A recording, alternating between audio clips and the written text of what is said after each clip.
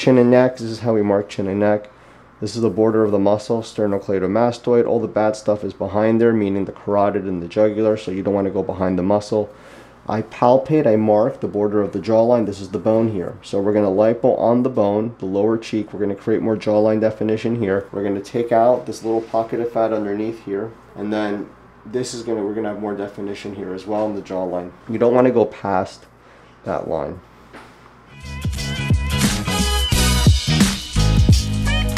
Thanks so much for watching. If you enjoyed the video, drop us a comment, give us a like, subscribe.